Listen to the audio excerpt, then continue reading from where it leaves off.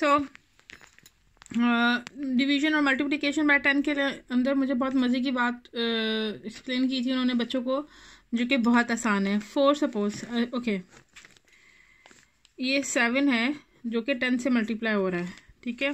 तो seven is one और ten से मल्टीप्लाई हो रहा है वन एंड टेन तो सिंपल ये है कि सेवन के साथ ज़ीरो लगा जाएँगे सिंपली उन्होंने ये एक्सप्लेन किया था ताकि बच्चे समझें टेन के टेबल के साथ, क्योंकि टेन का टेबल जब आप स्टार्टिंग में स्टार्ट करते हैं तो आपको बहुत बड़ा लगता है कि, ओह टेन का टेबल मतलब हमें नहीं, बच्चों को।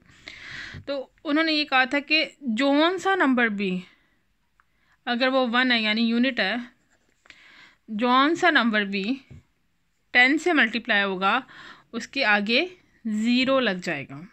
ठीक है? Same. Twenty three multiply by ten. Unit ten, ये भी यूनिट टेन। तो twenty three multiply by ten, क्योंकि हमें पता है जब ट्वेंटी थ्री टाइम्स टेन होगा तो टू हंड्रेड थर्टी बन जाएगा। लेकिन बच्चों को तो नहीं पता।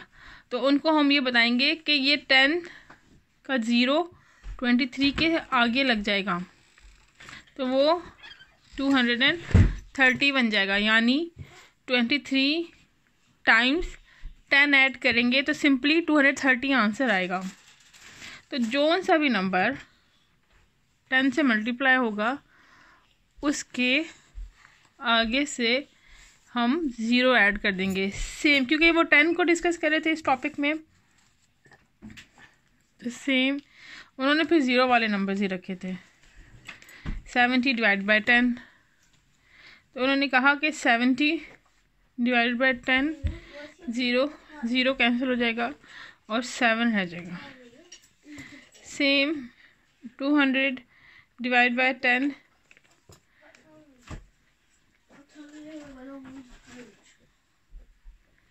Twenty रह जाएगा।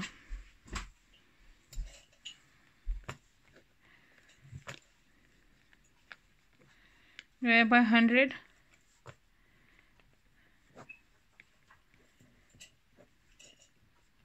टू रह जाएगा।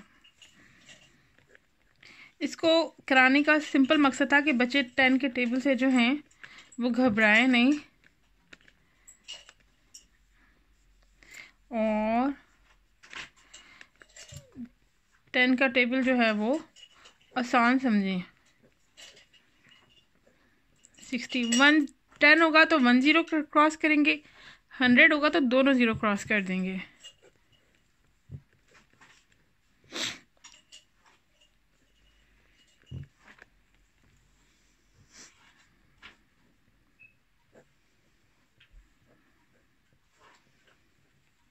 तो ये एक सिंपल रूल था डिवीज़न और मल्टीप्लिकेशन के टेन के अंदर टेन के टेबल में। कोई भी नंबर टेन से मल्टीप्लाई होगा तो उसके आगे ज़ीरो ऐड हो जाएगा।